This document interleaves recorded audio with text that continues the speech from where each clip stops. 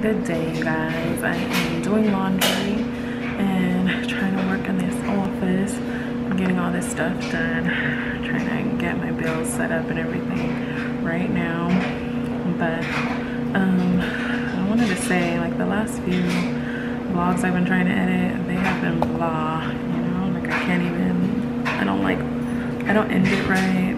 It's all over the place. Like I don't know what's going on, but I've been having like a quite a bit, uh, quite a hard time trying to deal with this vlogging situation, which is why I switched gears because what I'm focused on right now is financial stuff. So I um, tend to talk about that more because that's where I'm at but the vlogs are just not coming together the way I want them to. Like I have the clips, but they don't look right when I put them together and they are not cohesive. And not that they're gonna be cohesive, but it's just really frustrating the way they look. And I hope you can hear me over my dryer because yeah, but they're just not cohesive right now. I'm just trying to get that together. On another note, um, I finally got in touch with my father and he's willing to do half of me over the name change so I can let that topic go. Um, of course, talking to him was quite the headache. I had him on speaker and Kevin was hearing him talk and, you know, even he was like, what the heck is up with dude? But it's to be expected, I guess, because there's still some ill will between, you know, him and my mom. What I wanted to come out of it came out of it and that's, you know, what the important thing is. And, um, we seem like we're still on good terms so that's good. You guys are having a great great day. It is monday so usually mondays are not great for everyone but um, trying to put myself in a more positive space because the last two months have been really taking me to places that I've never been in my life and I want to try to get out of it. I know it's going to be hard and you know there's gonna be days where it's not gonna be really easy but I'm just gonna you know try to push towards being more like the person that I was, even though like all these medical issues that come up um, since the Cipro thing, um, they scare me and they put me in this dark place because I don't understand what's happening to my body. It's like it's not mine anymore. But I'm just gonna definitely try to push through it and like see if, you know, positive attitudes will help, better for me because I know a lot of things when healing, it's all about attitude and stuff like that. So I'm just gonna try to change my attitude. I'm not gonna be perfect at it and there still might be a time where I'm just looking like completely not myself, but I'm just gonna try my hardest, try, try, try my hardest to do things to the capacity that I can do them and try to keep my mind at, you know, at ease because I think playing with my anxiety and it's making me like go into this funk and I don't like it. So I'm just gonna try, you know, I, am a person that's goal oriented. So if I put some goals in front of me, I'm gonna do my best to knock them all out. And so I think that's what I just gotta do right now is put these goals in front of me and smash them and do it like that but I hope as far as finances go, if anybody is going through things like us financially, or if you even have tips, you know, anything that can help me because I'm, I'm, I want it all. Like I want to absorb everything. So if you have any tips that you do financially, like I would love to know what they are. Um, another thing that I had in place were envelopes, money envelopes. I'll have to go get them and show them to you, but they were just like my sinking funds, but they were in cash. And cash actually works better for me because I was paid in cash when I was self-employed.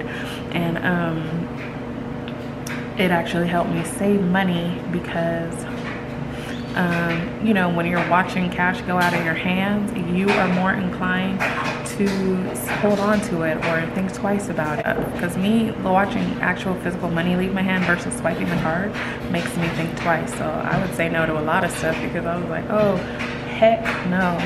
So I definitely want, know, I have the account sinking funds, which I think, you know, I might divide it in between cash and sinking, uh, cash and the account because carrying a bunch of cash to me is, um, I don't I don't like doing that. You know, I take I would take it out for like groceries or appointments and stuff like that, but I don't like carrying large amounts of money on me um, just because also I tend to lose stuff.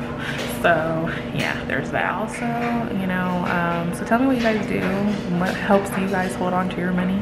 Also, uh, you know, maybe we should do some kind of like challenges, like the $5 challenge or a $1 challenge, like wherever anybody feels comfortable. I'm game, you know what I mean? I like having people with me that will do it and we could be accountability partners and stuff like that. So I definitely would want um, us to all be able to do it together because that would be cool to have, you know, either one or even two people do it together. Like we could just all hold each other accountable and that would be nice so um, that's what's going on with me right now. Laundry and trying to clean up. And my laundry was wild you guys. Like it was crawling up my wall. And I think it's only been a week and a half since I last did laundry. But um, for some reason it looked like it was just getting out of like control. And so and I'm also running low on laundry detergent. So I definitely got to go out and get that because I still have to do the kids laundry. And um I have a load of whites right here that needs to be done as well. So there's still a lot of that. I need to clean out the fridge, which I absolutely loathe, but um, it's gotta be done before you grocery shop. You gotta clean out your fridge. Yeah, I don't even know. Like I'm recording all this, a bunch of clips, but I don't even know if you guys can hear me. I need to check if that's even happening because this picks up on a lot of background noises versus the noise that's in front of it. So, um, that's pretty frustrating.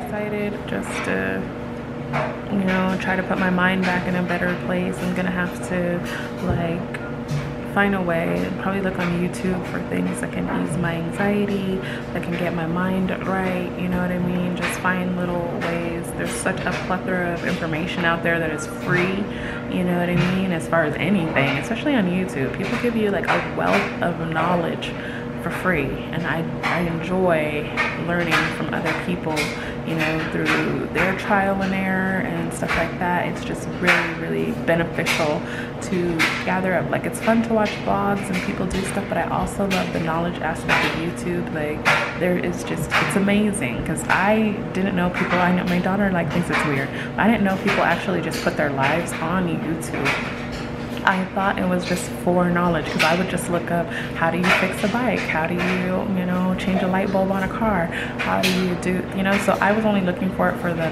knowledge aspect of YouTube. I didn't know about this other side of it where people just share their everyday lives, which was amazing too because if I had known that back in the day when I felt isolated as a military spouse, there are people like Kiara who is a military spouse I mean uh, years after me.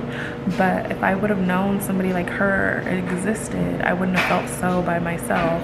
You know what I mean? So it's kind of cool to see that there's other people in the world going through what you're going through and you can relate to these people and kind of feel like developing your relationship through YouTube like you know them but not really know them because you're only getting like a snippet but kind of know them you know and that's kind of cool. Or you're going through stuff and then you find other people. I started watching a lot of people because i was ready to move and i wanted to see how they did it um, how what journey did they take? Did they use a u-haul? Did they use this or that? And i didn't use a u-haul when i moved out here um, but you know, I just wanted to see what everybody else's journey was and how they did it. Chrissy, Strong Mommy Chrissy, she had a large family, so I was really curious, like, how did you move from Colorado to Vegas? And it was like really interesting to see her do it. You know, um, Olivia from Living with the Webbs, she moved from California to Texas, and that's how I found her. Kiara, because they were leaving Alaska and going to. Um, to Texas. So these are how I found the people that I watch, you know what I mean? And um, it's just really, really interesting to me to see how other people do things, you know, and live their lives and stuff like that. And I'm older than these people, you know, a lot of the YouTubers that I watch, but I can relate to a lot of their life and a lot of things that they go through. So it's kind of cool to not, and especially right now because I'm back in a situation where we don't know anyone out here. We don't know anyone out here and we're kind of like by ourselves. And I had been watching these particular YouTubers since, um, before we left so i kind of feel like i brought my friends along with me in some sort of way you know what i mean? Like people that i was already watching and following and seeing. I mean a lot has changed within the time that i had started watching uh, kiara. Um, she's in a totally different state than Texas now and things are different with her now you know? And a lot of things have changed with all the people that I've watched and we see them go through their trials and tribulations and pick themselves up and it's really amazing you know? It's really amazing what's out there for you to relate to learn from and all that stuff. And, um, so let me get back to doing what I was doing. I just get sidetracked so so easy. Um, I gotta make myself something to eat because all I had was like a beet juice this morning and things are looking positive. I guess I'm losing eyesight in one eye, but I'm hoping that it's temporary, you know? Who knows? But you know, I'm just gonna look on the brighter side of things as of right now because being down, I just see, I feel this actual, feel a physical weight on me it's not that it's just like oh you're down because you don't feel good and you're depressed due to it which is a part of it but now i'm feeling that physical weight on my chest that physical weight in my heart. So now it's manifesting itself into actual physical weight that i'm carrying around with me. And so i want to lift that and just get back into a more positive light you know what i mean? And i so you know i'm gonna need my earth mama medicine and all her positive energy to radiate through the um, screen like she always does and help me through this. You know i need positive people like that to find and watch and relate to because energy is a big thing with me and everyone's energy is off in my home because my energy is off. So I can't really like rely on anyone at my house to help pick me up. They're relying on me to pick them up. So I gotta get back in the space that I can make everyone feel a lot better.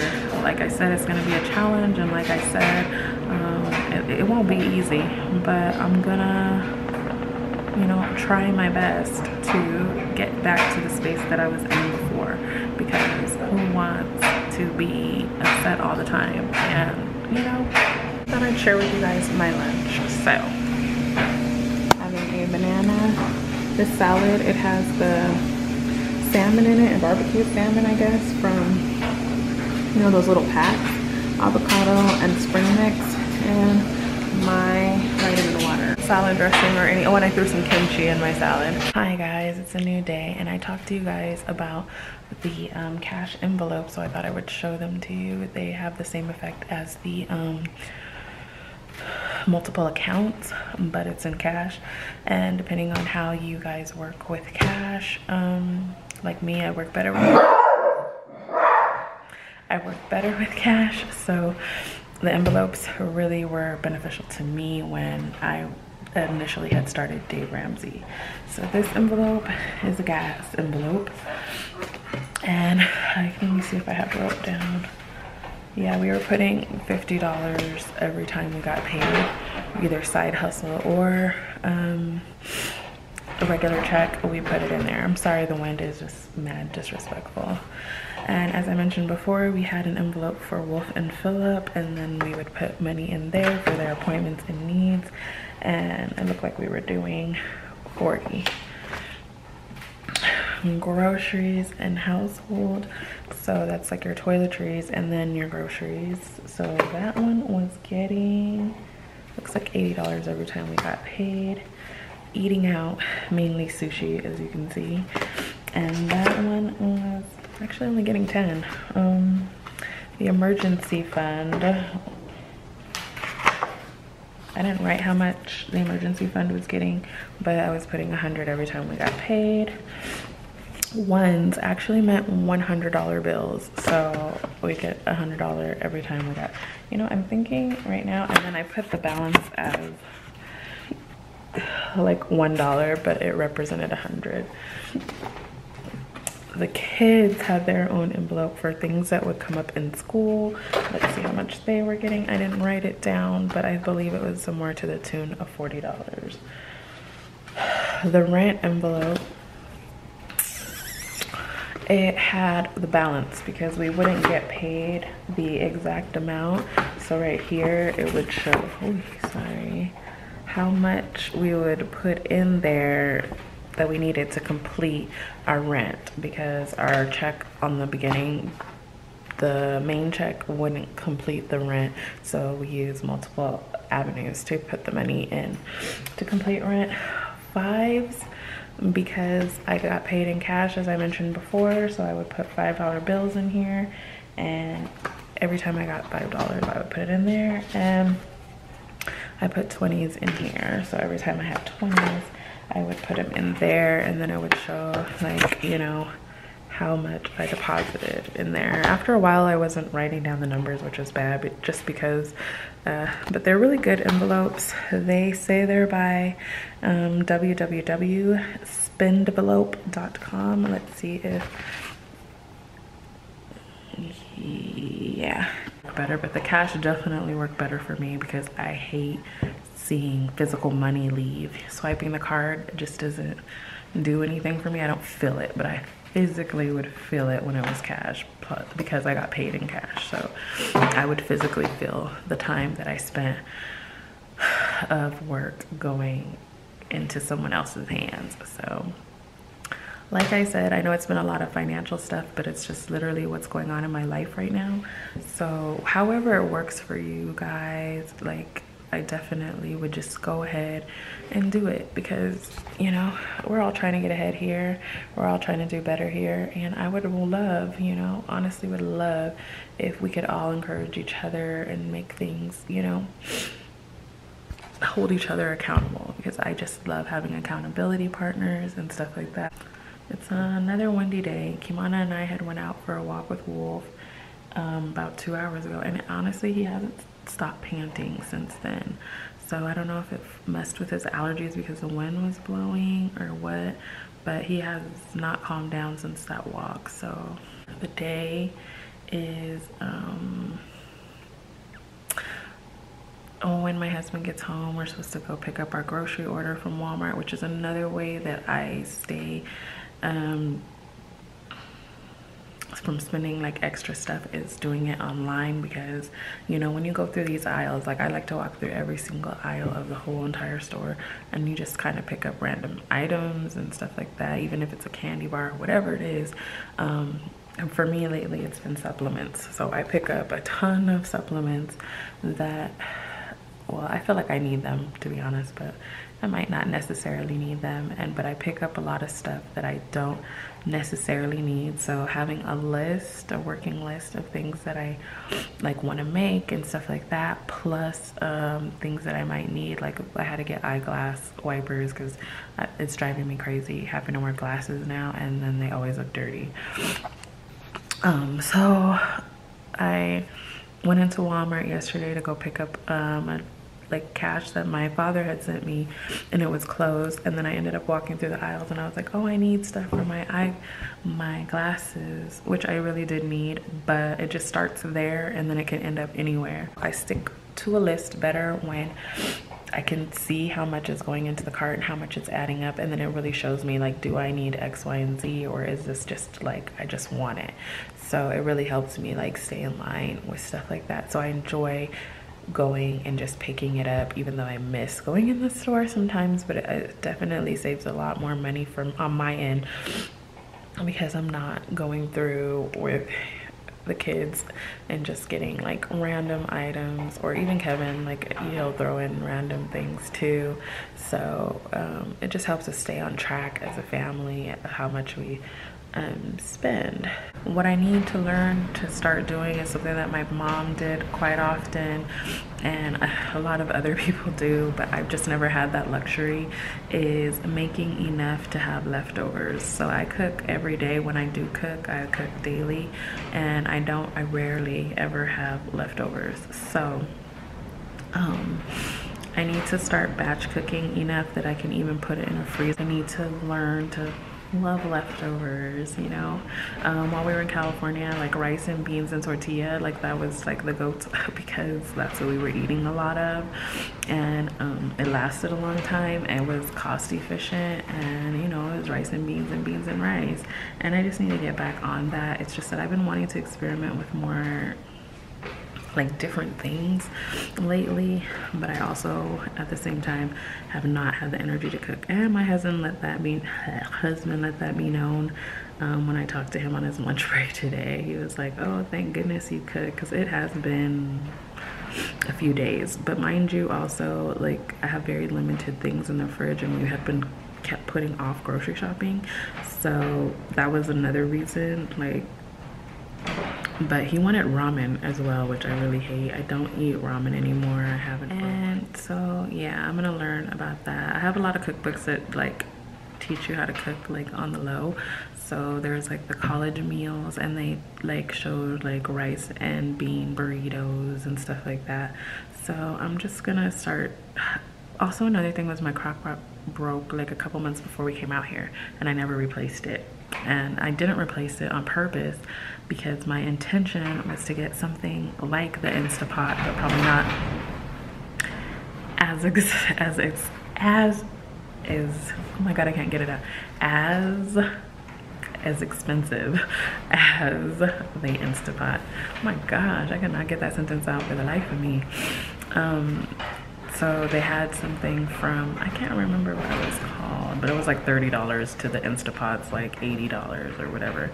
So I was trying to, that was, that was a goal was to get something like that that I can batch cook in and do stuff, but I never did it. And I guess that, I guess that's it for right now. Um, me and Wolf are gonna be chilling in the office. Uh, I'm gonna let you guys go for now.